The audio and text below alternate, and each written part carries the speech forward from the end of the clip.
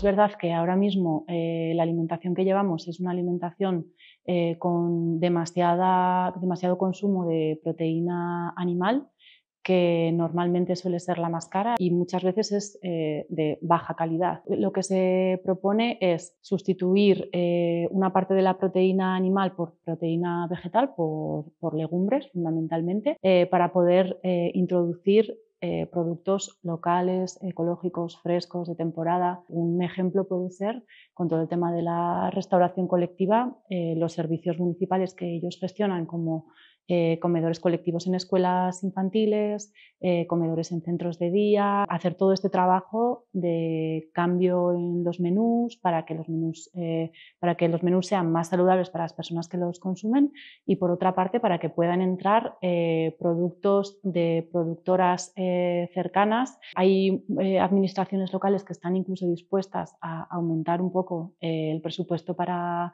para alimentos en este tipo de, comedores colectivos porque saben que va a repercutir en, el territorio. Por cada euro que se invierte en alimentos producidos por personas eh, productoras a nivel local, eh, revierte en el territorio eh, euros. Estamos en un momento crucial en el relevo generacional del agro navarro y además estamos en un momento crucial en la, en la situación de la tierra, de nuestros suelos y del y en las producciones locales. ¿no? Es que es necesario repensar un nuevo modelo que, que alimente nuestra población de una forma justa y sostenible.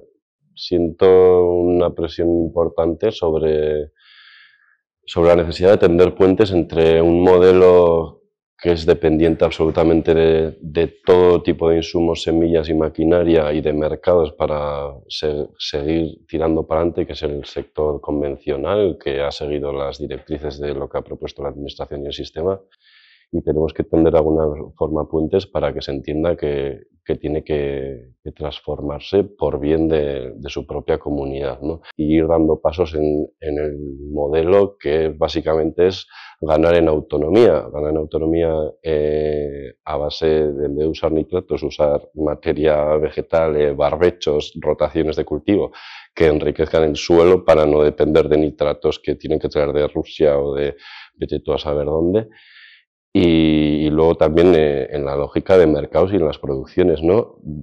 Producir alimentos que nuestra propia comunidad se, vaya, se vaya a proveer de ellos. Son eh, movilizaciones que por lo menos en los planteamientos eh, que han puesto más en el frontal ¿no? de, la urgencia están plenamente justificadas. ¿no? Todo, todo el tratamiento discriminatorio que, la Unión Europea da a las importaciones, las condiciones que impone a la producción local, al primer sector local, local eh, y que no exige a los eh, productos que importa por medio de acuerdos comerciales. También eh, diría que hay, que hay síntomas en las movilizaciones de situaciones algo preocupantes. Existe la sospecha más que fundada que en algunos casos hay elementos de, ultraderecha que están aprovechando estas eh, situaciones para lanzar eh, agendas eh, pues más, más que cuestionables sobre todos estos asuntos. ¿no?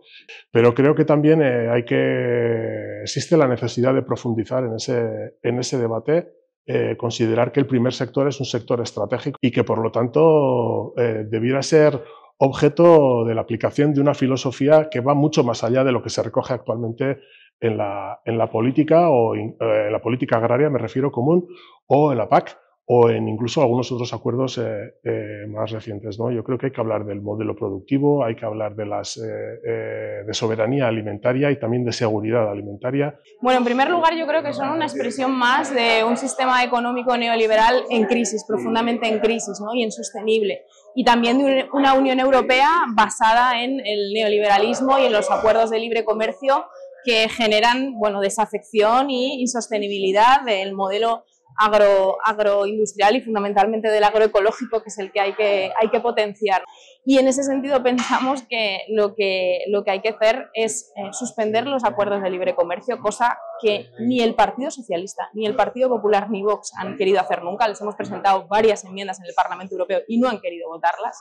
Y lo que hay que hacer es cambiar también la, la PAC, la política agraria común, ¿no? que va fundamentalmente a grandes empresas, a grandes explotaciones eh, y que perjudica a las pequeñas y medianas eh, explotaciones y los eh, pequeños agricultores, ganaderos y, explotaciones familiares.